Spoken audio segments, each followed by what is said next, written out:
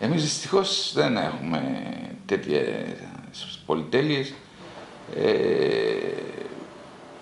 εμείς το πρώτο αεροπλάνο που θα έρθει νομίζω είναι 6 Ιουνίου το, και το μοναδικό, το πρώτο και μοναδικό που θα έρθει θα είναι 6 Ιουνίου.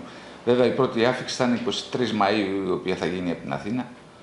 Ε, Εν τη αυτή περιπτώσει υπάρχει μια πτήση μόνο από Πράγα, Τσε, Τσεχίας και έχουμε κάποια γκρουπ στα οποία θα φέρουμε με, από Ρουμανία και Πολωνία. Ε, αυτά όμως θα έρθουν με τις ε, normal πτήσεις της Aegean.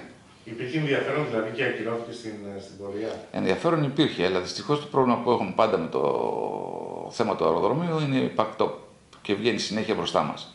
Να δούμε, θα τελειώσει αυτή η ιστορία όσο πιο γρήγορα τελειώσει, τόσο πιο γρήγορα θα ξεκινήσει και η δική μας ανάπτυξη στον τομέα αυτό, σε ό,τι αφορά τις πτήσεις charter.